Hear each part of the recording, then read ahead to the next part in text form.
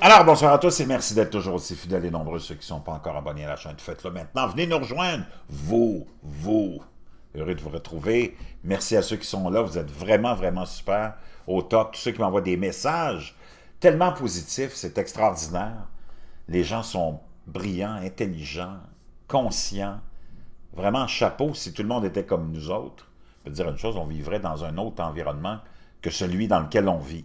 Mais on est loin de là.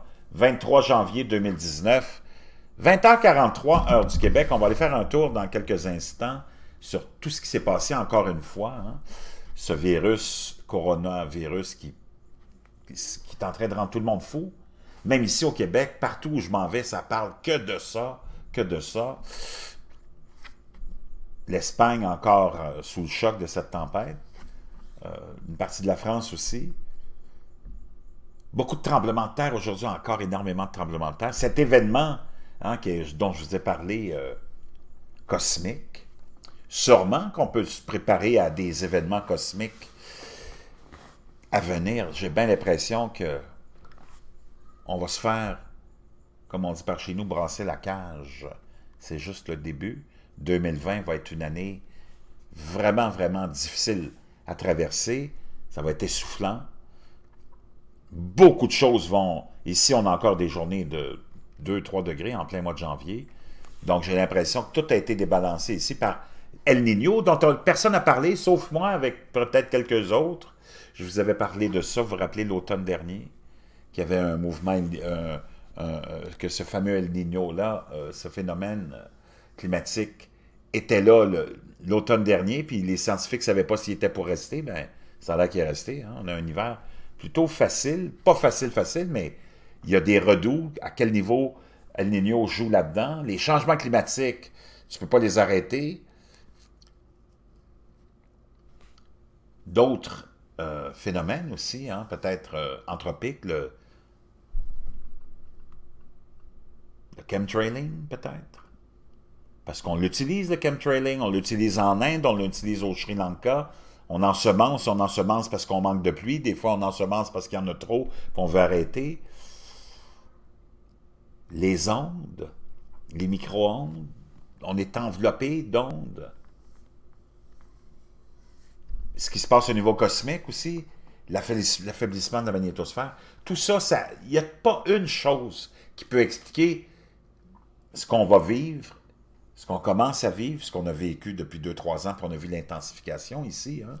on en parle beaucoup, mais là, 2020, c'est comme, OK, les livres sont ouverts, c'est commencé pour vrai, l'histoire.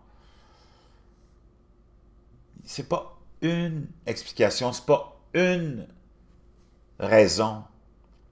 C'est une multitude, c'est ce que je vous explique. Là, c'est une multitude de sources de raison, tout est aligné, tout ce qu'on a fait, hein, comme pollution, tout ce qu'on a causé aussi comme dommage à la stratosphère, la, la haute atmosphère, le chemtrailing, les avions sans cesse qui passent.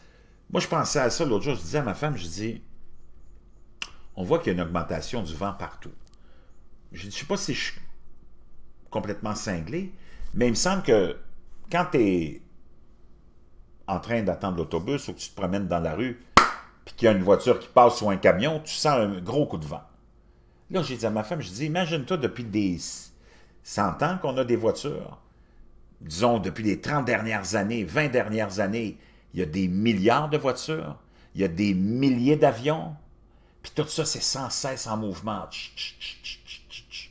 Je me dis, s'il y a une voiture qui passe à côté de moi, puis je me fais décoiffer, imagine des avions sans cesse dans le ciel, des camions, des trains, des bateaux, des avions, des camions, des trains, des voitures, sans cesse en mouvement, 24 heures sur 24 sur l'ensemble de la planète, à un moment donné, il doit avoir un impact quelque part.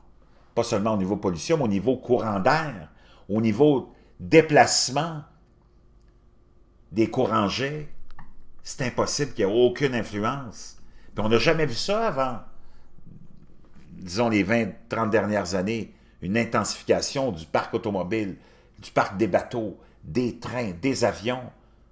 J'imagine qui doit avoir un impact dans tous les courants, dans tous ces déplacements, peut-être de climat. Moi, je ne sais pas. Je lance une piste comme ça, peut-être que vous pouvez m'aider là-dedans, parce que je sais que vous êtes savant. Mais il y a plein de facteurs. Il n'y a pas un facteur, c'est plusieurs facteurs. On n'a jamais vu non plus dans l'histoire de l'humanité autant de poubelles partout. On n'a jamais vu dans l'histoire de l'humanité des gens s'attaquer à l'ensemencement des nuages. On n'a jamais vu non plus dans l'histoire de l'humanité autant de satellites autour de la Terre en train de bouger là aussi. J'imagine qu'une grosse, grosse machine comme ça, que ce soit un ballon atmosphérique pour les platistes, ou que ce soit quoi que ce soit d'autre, ça déplace du vent puis de l'air, ça aussi. On n'a jamais vu dans l'histoire de l'humanité autant d'ondes, micro-ondes, radio, télé, portable, Internet, tout est sans fil. Chez vous, c'est sans fil. À l'extérieur de chez vous, c'est sans fil. C'est partout sans fil. c'est continuel. Comme des ninjas en pleine action. Moi, je ne sais pas. Mais si vous pensez que tout est bien correct, que tout va bien, Madame la Marquise, puis qu'on peut expliquer seulement ça avec une seule chose, c'est tellement, tellement du n'importe quoi. C'est tellement simpliste. Ces gens-là ne savent pas de quoi ils parlent. C'est plein de facteurs. Puis tout est aligné. C'est ce qui fait qu'on vit ce qu'on vit, puis que c'est que le début, puis préparez-vous. Wow! On n'est pas sorti de l'auberge. Je vous reviens avec deux, trois petites histoires complètement folles, mais il fallait que je vous partage mes impressions, ce que je pense, ce que je ressens par rapport à tout ça, puis qu'on est rendu à un point de non-retour. Tu ne peux plus retourner en arrière. Puis que tu changes, ça va prendre combien de temps de changer le parc automobile? Pour ceux qui pensent que le CO2 c'est un problème? Ça va prendre combien de temps avant de changer tous les modes de transport puis de les amener à des modes pseudo-écologiques?